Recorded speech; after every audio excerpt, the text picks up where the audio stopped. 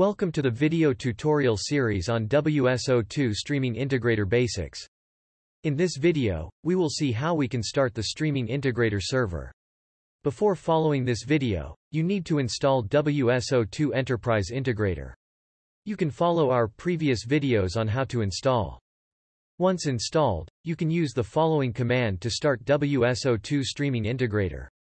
This command can be used on your favorite terminal in Mac and Linux platforms.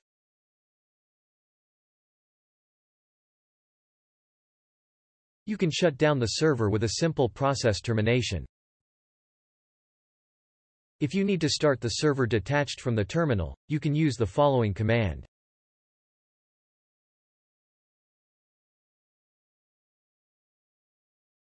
When started as a service, you can use the following command to stop the server. Now you are familiar with how to start and stop SI server. The physical location of the server will be one of these directories depending on your platform. This is known as SI underscore home. You can get to know about developing and running integrations with WSO2 Streaming Integrator in the following videos.